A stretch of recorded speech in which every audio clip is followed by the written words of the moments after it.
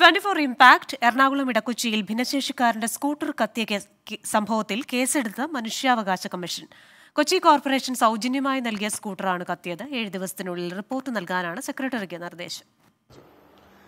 ഇടക്കൊച്ചി പതിനേഴാം വാർഡിൽ താമസിക്കുന്ന നാസറിന്റെ സ്കൂട്ടർ സെപ്റ്റംബർ ഒന്നാം തീയതിയാണ് കത്തിയത്. ഷോർട്ട് സർക്യൂട്ട് എന്നായിരുന്നു പ്രാഥമിക നിഗമനം. നിർമ്മാതാക്കളെ സമീപിച്ചെങ്കിലും അനുകൂല തീരുമാനമുണ്ടായില്ല. അധികൃതരും കൈയൊഴിഞ്ഞു. പിന്നാലെയായിരുന്നു ട്വന്റി ഫോർ സംഭവം റിപ്പോർട്ട് ചെയ്തത്.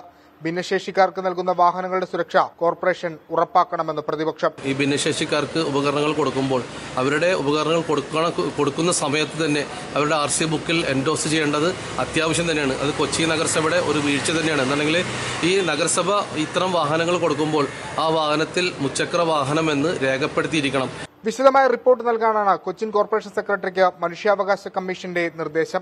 സൗജന്യമായാണ് നൽകുന്നതെന്നതിന്റെ പേരിൽ സുരക്ഷ ഉറപ്പാക്കേണ്ടതില്ല എന്ന മനോഭാവം മാറ്റിവെക്കണം.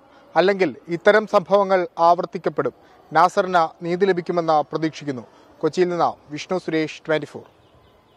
ലോകത്തെവിടെയായാലും ഏത് സമയത്തും ട്വന്റി ഫോർ വാർത്തകളും ഓഗ്മെന്റഡ് റിയാലിറ്റി പാക്കേജുകളും എക്സ്പ്ലെയിനറുകളും വിശദമായി കാണാൻ ഞങ്ങളുടെ യൂട്യൂബ് ചാനൽ നിങ്ങൾക്ക് സബ്സ്ക്രൈബ് ചെയ്യാം.